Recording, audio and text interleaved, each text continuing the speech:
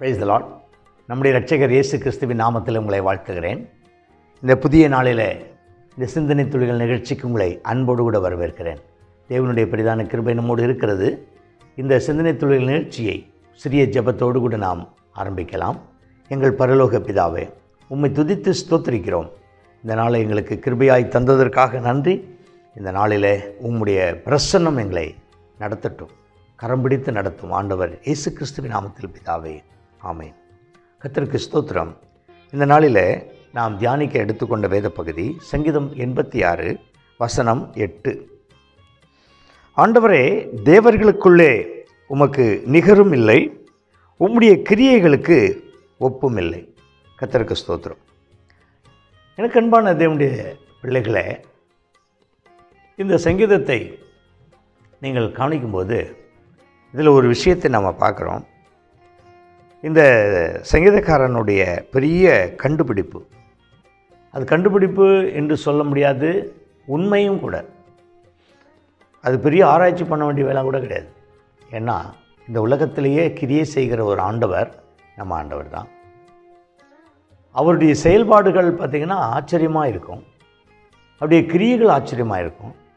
அதனால் அவர் இந்த விண்ணப்பத்தை ஏறெடுக்கும்போது சொல்கிறாரு ஆண்டவரே தேவர்களுக்குள்ளே உமக்கு நிகரும் இல்லை. உம்முடைய கிரியைகளுக்கு ஒப்பும் இல்லை. இந்த ஆண்டவருக்கு நிகரான ஒருவருமே கிடையாது. இந்த ஆண்டவருடைய மகத்துவத்தை அல்லது அந்த ஸ்தானத்தை நிறைய பேர் திருடிக்கொள்வதற்காக ஜனங்களை திசை திருப்பி நானே கடவுள் நானே தெய்வம் என்று அநேகருக்கு தங்களை கடவுளாக தெய்வமாக காண்பித்து கொண்டு தன்னை பூஜிக்க சொல்லி வணங்கச் சொல்லி அடிப்பணிய வைத்து தன்னுடைய பாதத்தை தூக்கி தலைமையில் வச்சு இதுதான் ஆசீர்வாதம்னு சொல்லி ஆசீர்வதிக்கிறாங்க. நம்முடைய ஆண்டவர் அப்படிப்பட்டவர் அல்ல. நீங்கள் பார்க்குறீங்க ஆண்டவரே தேவர்களுக்குள்ளே உமக்கு நிகரும் இல்லை. ஆமாம் நீங்கள் நம்முடைய தேவனை பார்த்தீங்க அப்படின்னு சொன்னால் அவர் ரொம்ப பூரண அழகுள்ளவர் அடுத்தது அவர் சாந்தமும் மனத்தாழ்மையுமாய் இருக்கிறார் அடுத்தது அவர் நல்ல மேய்ப்பனாய் இருக்கிறார் அடுத்தது நல்ல மேய்ப்பன் தன் ஜீவனை தன்னுடைய ஆடுகளுக்காக கொடுக்கிறார். இப்படி நம்முடைய தேவனுடைய அந்த நிகரற்ற தன்மைகளை அடுக்கிக் கொண்டே போகலாம். அவருடைய தன்மைகள் அவருடைய அந்த ரியாலிட்டி அவருடைய ஒரிஜினல் அது சொல்லிக்கிட்டே போகலாம். ஒரு மேன்மை இருக்கிறது என்று சொன்னால் அதற்கு சொந்தக்காரர் அவர்தான். ஒரு புகழ்ச்சி இருக்கிறது என்று சொன்னால் அதற்கு சொந்தக்காரர் அவர்தான். ஒரு தேவன் இருக்கிறார் என்றால் அந்த தேவன் அப்படின்னு சொல்கிற சொல்லுக்கு சொந்தக்காரர் அவர்தான். ஏன்னா அவரை தவிர வேறு யாரும் இல்லை. அவரை தவிர வேறு யாரும் இல்லை. இன்றைக்கி கடவுள் இல்லை அப்படின்னு சொல்கிறவங்க என்ன சொல்லிக்கிட்டு இருக்காங்க? கடவுள் இல்லைன்னு சொல்கிறாங்க நான் அவர்களுக்கெல்லாம் அன்பாக சொல்லிக்கொள்வது என்னென்னா நீங்கள் கடவுள் இல்லை என்று சொல்லுகிறது ஒருவேளை உங்களுடைய கருத்தாக இருக்கலாம். ஆனால் நான் சொல்லுகிறேன் ஆண்டவர் இயேசுவை தவிர வேறு யாரும் இல்லை. அப்போ யோசித்து பாருங்க. இந்த ஆண்டவர் இயேசுவை தவிர வேறு யாரும் இல்லை. இந்த தேவனை தவிர வேறு யாரும் இல்லை. நிகர் யாருமே கிடையாது. செயல்பாடுகளெல்லாம் பார்த்தீங்கன்னு சொன்னால் அங்கே நம்முடைய முற்பிதாக்கள் அந்த செங்கடலை கடந்து வரும்போது அந்த கடலையே பிளந்து விட்டார். இது போல் வேறு யாராவது செஞ்சுருக்காங்களான்னா கிடையாது. அப்போ எதிரிகளை அந்த கடலை மறுபடியும் மூடி ஒன்றிணைத்து எதிரிகளெல்லாம் ஒரே நாளில் நொடியில் மடிந்து போனார்கள். இது மாதிரி இது மாதிரி தன்னுடைய ஜனத்துக்காக யுத்தம் பண்ணின வேறு யாரையாகளும் நீங்கள் பார்க்க முடியுமா? கிடையாது. அப்படியே அவருடைய மகத்துவங்களை பார்த்துக்கிட்டே வந்தால் வானத்து மன்னாவை கொடுக்கிறார். கற்பாறையில் இந்த தண்ணீரை கொடுக்கிறார். மாறாவின் தண்ணீரை மதுரமாக மாற்றுகிறார். அவர்களை எதிர்த்த அந்த ராஜ்யங்களை தகர்த்து யாரெல்லாம் எதிர்த்தாங்களோ அந்த ராஜ்யங்களை பிடுங்கி தம்முடைய ஜனத்துக்கு அந்த எல்லையை பங்கிட்டு கொடுத்திருக்கிறார். யோர்தானை அப்படியே குவியலாக தண்ணீரை நிற்க வைத்திருக்கிறார். காணானியரை துரத்தி கானான் தேசத்தை தம்முடைய ஜனத்துக்கு கொடுத்திருக்கிறார். ஏன்னா அது வாக்குத்தத்தத்தின் தேசம். ஆபிரகாம் ஈசாக்கு யாக்கோவுக்கு வாக்கு பண்ணின தேசம். அதனால் அதை செய்திருக்கிறார். இப்படி அவருடைய கிரியைகளெல்லாம் அற்புதமானவைகள். அதற்கு ஒப்பானது யாரும் இன்னைக்கு வரைக்கும் கிரியை செஞ்சதே கிடையாது. நிறைய பேர் தங்களை போற்றி போற்றுவதற்காக நிறைய இது செய்தோம் அது செய்தோம் சொல்லிக்கிட்டு இருக்கிறாங்க. ஆனால் நீங்கள் பார்த்தீங்கன்னா அதெல்லாம் கிடையாது. ஏன்னா செஞ்சதாக ஒருவேளை அன்றைக்கு செய்ததாக இருந்திருந்தால் இன்றைக்கும் செயல்படணும். ஆண்டவர் இயேசு கிறிஸ்து மூன்றரை ஆண்டுகள் இந்த பூமியில் ஊழியம் செய்தார். அவர் ஊழியம் செய்த போது செய்த கிரியைகளை இன்றைக்கு அவருடைய பிள்ளைகள் அவருடைய ஊழியக்காரர்கள் மூலம் செய்து செய்து கொண்டு தான் இருக்கிறார். இது போல் வேறு யாராகவும் நடக்குதானா கிடையாது. ஒரு சில மாயாஜாலங்களை பண்ணுறாங்க அது அந்த பொய்யான அடையாளங்களை நடப்பிக்கிறாங்க. அந்த எந்த மந்திரவாதி அதை நடப்பிக்கிறானோ சில நாட்களுக்குள்ளே அந்த மந்திரவாதியவே அவன் கையாண்ட மந்திரமே சாகடித்து விடும். அப்படி தான் இருக்குது. ஆனால் ஆண்டவர் அப்படி அல்ல. அப்போ அவருக்கு உப்பும் கிடையாது நிகரும் கிடையாது. அவருக்கு யாராவது நிகராக இருக்கிறாங்க? இன்னார் தான் அவருக்கு இப்போ இவர் மாதிரி அவர் மாதிரி இவர் வல்ல இந்த இந்த வல்லமைக்கு இணையான வல்லமை அந்த வல்லமையான வல்லமைக்கு இணையான வல்லமைன்னு சொல்லி சொல்கிறதுக்கு எதுவுமே இல்லை. ஏன்னா அவ்வளவு வல்லமை மிகுந்தவர் அவ்வளவு மகத்துவம் மிகுந்தவர் அவ்வளவு பெரியவர் அவருடைய செயல்பாடுகள் அளவிட முடியாதது. அதெல்லாம் யாருமே அது மாதிரி செய்யவே முடியாது செய்யவும் இல்லை. அதுதான் உண்மை. அப்போ அதனால தான் இவரே சொல்கிறாரு ஆண்டவரே தேவர்களுக்குள்ளே உமக்கு ஒப்பு இல்லை உமக்கு சமம் யாருமே கிடையாது.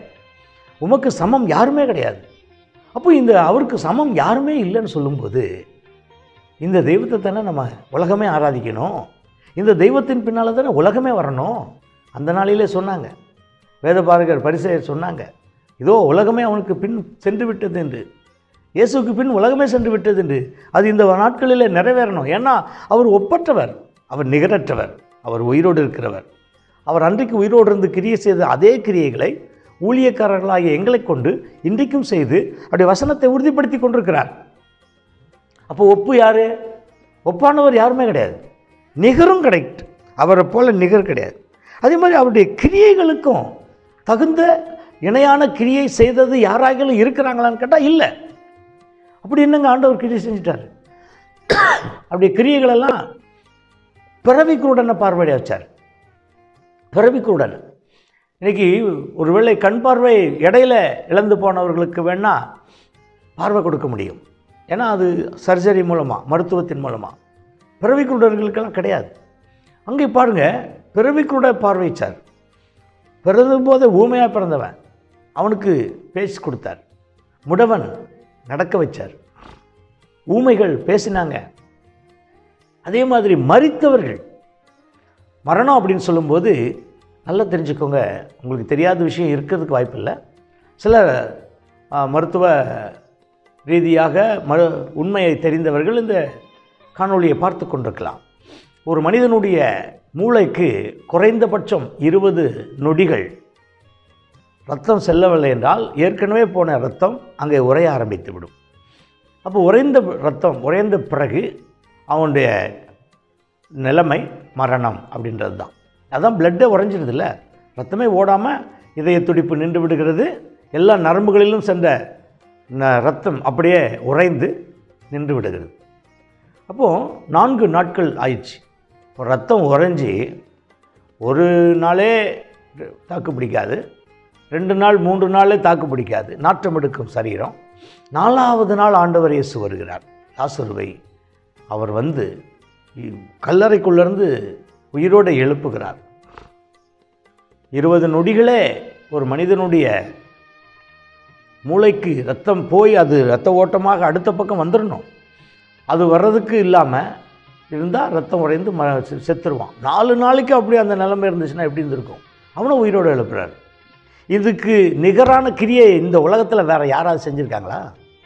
அந்த வசனம் எவ்வளோ அற்புதமாக சொல்லுது பாருங்கள் அப்போ நம்முடைய தேவனுக்கு நிகரானவங்களும் இல்லை அவருடைய கிரியைகளுக்கு ஒப்பான கிரியையில் செஞ்சவங்க யாருமே கிடையாது. ஆனால் அவங்கள எல்லாரும் கடவுள் கடவுள்னு சொல்லிக்கிட்டு இருக்காங்க. இவ்வளவு பெரிய அற்புதத்தை செய்த தெய்வத்தை புறக்கணிக்கிறாங்க. நான் உங்களுக்கு சொல்லுகிறேன் இவருடைய கிரியைகளுக்கு ஒப்பான கிரியையை வேற யாராகிலும் செஞ்சுருந்தாங்கன்னா கொண்டு வந்து நிரூபிங்க சும்மா இன்றைக்கி வாய்க்கு வந்த மாதிரிலாம் ஆண்டவர் இயேசு அவரை பழிக்கிறாங்க. நாங்கள் அவருக்காக வழக்காட மாட்டோம். அவரே அவருக்காக வழக்காடுவார். ஏன்னா அவர் உயிருள்ள தெய்வம். நாங்கள் கம்பெடுத்து வழக்காட வேண்டிய அவசியம் இல்லை இயேசுவுக்காக. இயேசு ஒரே ஒரு வார்த்தை சொன்னால் போதும். இயேசு இல்லை அப்படின்னு மறுதளிச்சுட்டு இருக்காங்க பாருங்கள் அவங்கெல்லாம் இயேசு இருக்கிறாருன்னு சொல்லி ஓடி வந்துடுவாங்க இன்னும் உங்கள் வண்டி ஓடட்டும் உங்கள் பட்டம் உயரட்டும் நூல் என் கையில் தான் இருக்குன்னு ஆண்டவர் விட்டுக்கிட்டு இருக்கார். அவ்வளோதான் அதனால் ரொம்ப ஜாக்கிரதையாக இருங்க. என் கண்பானவர்களே வேறு யாராகிலும் இந்த தேவனுடைய செய்கைகள் கடலை பிளந்தது போல நான்கு நாட்களுக்கு பிறகு லாசுருவை எழுப்பது எழுப்பினது போல யாராகிலும் செய்தது உண்டா? செய்தது உண்டா? செய்த சரித்திரம் உண்டா? கிடையாது. ஒரு பூர்நூல் போட்ட ஒரு பூஜாரி ஒரு நாள் ஒரு சாட்சியை சொல்லுகிறார். தினந்தோறும் தன்னுடைய கேன்சர் நோய் பிடித்த மகனுக்காக ஒரு தாய் பிரார்த்தனை செய்தாள். ஒரு நாள் அந்த தாயினுடைய பிரார்த்தனை கேட்கப்பட்டது. பதில் கிடைத்தது. எப்படி என்றால் கேன்சர் நோய்க்கு மருந்து கண்டுபிடித்த அந்த பெரிய விஞ்ஞானி அந்த டாக்டர் அவருக்கு ஆன பாராட்டு விழாவுக்காகவும் அந்த நோபல் பரிசு போன்ற பரிசை பெறுவதற்காகவும் அவருக்கு அழைப்பு. ஃப்ளைட்டுக்கு போகிறார் ஃப்ளைட்டெல்லாம் கேன்சல் புயல் மழைனால் கேன்சல் சரி எப்படியாவது காரில் போயிடலான்னு சொல்லிட்டு டாக்ஸி எடுத்துக்கிட்டு போகிறார் புறப்பட்டு போகும்போது போகிற வழி ஒரு வழியில். அதற்கு மேல் கார் போகாது என்கிற நிலைமைக்கு அந்த நிலைமை இருந்தது. புயல் காற்று மழை. அப்போது டிரைவர்கிட்ட சொன்னாராம் இந்த பக்கமாக இருக்கிற அந்த வீட்டு பக்கமாக வண்டியை திருப்புப்பா என்று சொல்லி அந்த வீட்டு பக்கமாக வண்டியை திருப்பி அந்த வா- வாகனத்திலிருந்து இறங்கி அந்த வீட்டுக்குள்ளே செல்ல ஆரம்பித்தார்கள். அங்கே வந்த அந்த தாயார் வந்து அவர்கள் நனைந்து கொண்டு வருகிறதை பார்த்து அவர்களுக்கு டவல் மற்றும் மாற்றுடையெல்லாம் கொடுத்து உட்கார வைத்து அவர்களை குறித்து விசாரித்து பேசிவிட்டு நாங்கள் போகிற வழியில் இப்படி தடையாகி விட்டது நாங்கள் எப்படி போவதென்று தெரியவில்லை. இதற்கு மேலே எங்கள் வண்டி போகாது. அதனால் நாங்கள் இங்கே வந்து விட்டோம் என்று சொல்லி அவர் அங்கே சொன்னாராம். உடனே அந்த வீட்டில் உள்ள அந்த சகோதரி அவர்கள் அவர்களை அன்போடு வரவேற்று அவர்களை உபசரித்து பேசிக்கொண்டிருந்து கொஞ்ச நேரம் இருங்கள் நான் அப்பா கிட்ட பேசிட்டு வர்றேன் அப்படின்னு சொல்லி அவர் அந்த சகோதரி உள்ளே போய் விட்டார்களாம். அதிக நேரம் ஆகியும் அவர்கள் வெளியே வரவில்லை. அப்போது இந்த டாக்டர் என்ன பண்ணாராம்? அப்பா கிட்ட பேசிட்டு வரேன்னு சொல்லிட்டு போனாங்க இன்னும் ஆளை காணோம். எந்த அப்பா கிட்ட தான் பேசுகிறாங்க இவ்வளோ நேரம் ஒருத்தர் அப்பா கிட்ட பேசுவாங்களா? அப்படின்னு சொல்லிட்டு உள்ளே போய் பார்த்தா முன்னாலே ஒரு பைபிள் அங்கே அந்த விசுவாசத்தோடு கூட அந்த தாய் நேர் முழங்காலிலிருந்து அவர் ஜெபித்து கொண்டிருக்கிறார். இந்த டாக்டரும் பக்கத்தில் போய் ஜெபத்தில் உட்கார்ந்து விட்டார். எல்லாம் முடித்தவரது அங்கே பார்த்தார் யார்கிட்டம்மா பேசுனீங்க? அப்பா கிட்ட தான் பேசினேன். எங்கள் அப்பா? ஜீசஸ் தான் எங்கள் அப்பா. பாருங்களேன். ஜீசஸ் தான் எங்கள் அப்பா. அவர்கிட்ட தான் பேசினேன். இதுக்காக அந்த மகன் பாருங்கள் அவனுக்கு கேன்சர் வியாதி. அவன் மறிக்கிற நிலைமையில் இருக்கிறான். அவனுக்கு மருத்துவம் கிடைக்கல. யாரோ ஒருத்தர் அந்த கேன்சர் நோய்க்கு மருந்து கண்டுபிடிச்சிருக்கிறதாக சொன்னாங்க. அந்த மருந்து எங்களுக்கு வாங்குறதுக்கான பணமும் இல்லை. அந்த மருந்து வாங்கி அவனுக்கு செலுத்தி அந்த நோயிலிருந்து அவனை குணமாக்கி பிழைக்க வைக்கிறதுக்கான வாய்ப்பும் எங்களுக்கு இல்லை. அதனால தான் தினந்தோறும் எங்கள் அப்பா கிட்ட இந்த விஷயத்த சொல்கிறேன் அப்படின்னு சொன்னாங்களாம். அப்போ அவர் சொன்னாராம் கவலைப்படாதீங்கம்மா. உங்கள் அப்பா உங்கள் ஜெபத்துக்கெல்லாம் பதில் கொடுத்துட்டாரு அப்படின்னு சொன்னாங்களாம். என்ன டாக்டர் என்னையா சொல்கிறீங்க அப்படின்னா டாக்டர்னு தெரியல. என்னய்யா சொல்கிறீங்க நீங்கள் நினைக்கிற மாதிரி கேன்சருக்கு மருந்து கண்டுபிடிச்சது நான் தான். அந்த மருந்து கண்டுபிடிச்சதுக்காகத்தான் எனக்கு விருது கொடுக்கறதுக்காக கூப்பிட்டாங்க. ஃப்ளைட்டும் கேன்சல் கார்லேயும் உங்கள் வீடை தாண்டி அந்த கார் போக முடியல. உங்கள் ஜெபந்தான் எங்கள் காரை உங்கள் வீட்டோடு நிற்க வச்சிருச்சு. இப்போ இங்கே வந்தபோது இந்த பிள்ளையை நான் பார்க்க முடிந்தது. அவனுக்கு எவ்வளவு செலவாகினாலும் பரவாயில்லை. அதை நான் பார்த்து கொள்ளுகிறேன் என்று சொல்லி நான் அவார்டும் வாங்க போகலை. வேறு எதுவுமே தேவையில்லை. போனாலும் முடியாது என்று சொல்லிவிட்டு அவர் தன்னுடைய வாகனத்தில் அந்த மகனையும் அந்த மகனுடைய தாயையும் ஏற்றிக்கொண்டு சிகிச்சைக்காக கொண்டு போய் அவருடைய சொந்த செலவிலேயே சிகிச்சை கொடுத்தாராம். யோசித்து பாருங்கள் இது சொன்னவர் யார் தெரியுமா? ஒரு பெரிய நாமம் போட்ட பூநூல் போட்ட ஒரு பூஜாரி. இது போன்ற சாட்சி இந்த ஆண்டவர் இயேசுவை தவிர வேற யாராகிலும் செய்திருக்கிறார்கள் என்ற சாட்சி இருக்கிறதா? சரித்திரம் இருக்கிறதா? யோசித்து பாருங்கள். இங்கே நான் உங்களுக்கு சொல்லுகிற உண்மை என்ன தெரியுமா? தேவர்களுக்குள்ளே தே நம்முடைய தேவனுக்கு நிகர் யாரும் இல்லை. ஆண்டவருடைய செய்கைகள் இந்த பூமியில் எவ்வளோ பேர் எத்தனையோ சாதனைகள் செய்கிறாங்க ஆனால் அதிசயங்கள் செய்யலை. சாதனைகள் செய்கிறாங்க சாகசக்காரர்கள் சாகச வீரர்கள் சாதனை செய்திருக்காங்க. ஆனால் அதிசயங்களை செய்கிறதுக்கு நம்ம ஆண்டவரை மட்டும்தான் முடியும். அதனால தான் அவருக்கு ஒப்பில்லைன்னு சொல்லி அவருடைய செய்கைகளுக்கு கிரியைகளுக்கு ஒப்பில்லை என்று சொல்லப்பட்டிருக்கிறது. இதை நம்புங்கள். அநேகருக்கு இதை சொல்லுங்கள். நிச்சயமாக இது உண்மை. இந்த ஆண்டவருக்கு நிகரும் இல்லை ஒப்பும் இல்லை ஜெபிப்போமா? எங்கள் பிதாவே மை துதிக்கிறோம். உடைய பாதத்தில் எங்களை தாழ்த்துகிறோம். உம்முடைய கரம் எங்களுக்கு போதுமானதாக இருக்கட்டும். உமக்கு நி நிகரும் இல்லை ஒப்பும் இல்லை உம்முடைய கிரியைகள் யாராலும் அப்பா செய்ய முடியாத அற்புத கிரியைகள். இன்றைக்கும் செய்கிறேன். எங்கள் வாழ்க்கையிலும் செய்யும். சிந்தனை துளிகள் நிகழ்ச்சியிலே கலந்து கொண்டு ஜெபித்து கொண்டிருக்கிற பிள்ளைகளுக்கும் அற்புதம் செய்யும். இன்றைக்கு பிறந்தநாள் திருமண நாளை நினைவு கூறும் அருமை பிள்ளைகளுடைய வாழ்க்கையில் கர்த்தர் அளவில்லாத நன்மைகளை கொடுத்து ஆசிர்வதியும். பெரிய காரியங்களை செய்யும். ஒப்பில்லாத இயேசு கிறிஸ்துவின் நாமத்தில் ஜெபிக்கிறேன் பிதாவே. ஆமேன். ஆமேன். பிரைஸ் லார்ட் தேவன் பெரியவர்.